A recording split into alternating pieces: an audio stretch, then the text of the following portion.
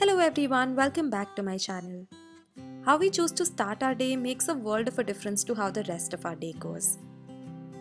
It doesn't matter whether we choose to begin our mornings as early as 5 am or 7 am or even as late as 11 am as long as we ensure that we take a few steps to make the start of our day count.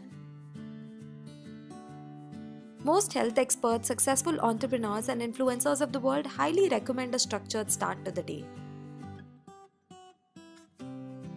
Apart from making all of us a lot more productive, a mindfully planned start to the day can bring in multiple other benefits as well. Take self discipline for example.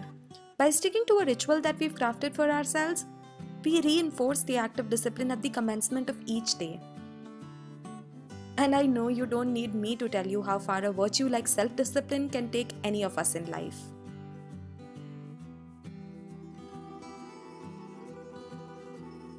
Another well known benefit of having a set morning routine is reduced stress. Our busy lives these days can cause a lot of physical and mental trauma, which in turn can lead to a lot of lifestyle diseases and ailments like diabetes, PCOS, hypertension, spondylitis, etc.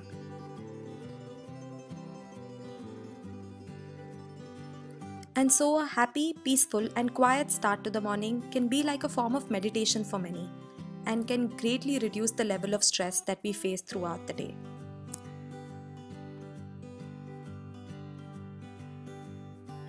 Now that we know that having a set morning routine is useful and beneficial to us in many ways, it's important for us to also understand a few other things. First, a morning routine that works for me may not be the morning routine that works for you. And more importantly, Starting a morning routine and sticking to it for the first few days is easy. But it takes effort and commitment to build something sustainable that can be followed in the long run as well. If you too are struggling with creating a morning routine that is sustainable and long lasting, don't worry. In this video, I'm going to share with you a method that will not only allow you to create a morning routine for yourself, but will also build a guideline for you that will allow you to stick to it in the long run as well. So without wasting any more time, let's begin. To start this system, the only thing you need is a notebook and a pen. Grab a notebook of your choice and open it to a part where it has both the right hand side and the left hand side pages empty. We're going to be writing on both of these. Now on the left hand side, begin by writing your ideal morning routine. I'm sure you would have watched a lot of morning routine videos of successful people on YouTube. So take inspiration from there and visualize your ideal morning routine and write it down. Close your eyes for a few seconds, imagine your perfect morning and start writing about it. The first thing you'd want to write is the time at which you want to wake up every day. It could be as early as 5 or 7 or 11, whatever works for you. After that, think of the first thing you want to do. Maybe drink a glass of warm water or water your plants. Maybe you want to start off the habit of writing in a gratitude journal. Make sure that you add this to the list as well. Next, maybe you always wanted to work out in the morning and you always wanted to incorporate that in your routine. So make sure that you make a note of that as well. Next, maybe skincare is something that you don't take very seriously but you've been meaning to take seriously for a very long time. So note that down as well. Now, once you have your ideal morning routine written on the left hand side, we'll move on to the right hand side of the page. Now, on the right hand side is where we are going to create something which will allow us to stick to this in the long run. Here, we're going to write down the enablers for each of these steps. Question yourself what can I do to enable everything that I've written down on the left page? And make a note of it point by point here. So, the way we are going to look at this is if the first point in your ideal routine is to wake up at 7:30 am, maybe think of an enabler that will allow you to do that. A good enabler would be to sleep maximum by 11:30 pm.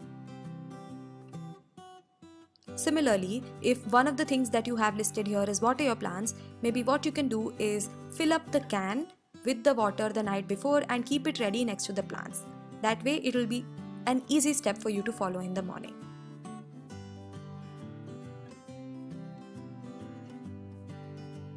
Next, maybe you want to start writing in your gratitude journal. So, a good enabler for that would be to keep the gratitude journal next to you on your side table so that when you wake up in the morning, it's available right next to you and you don't have to look around for it all around your house.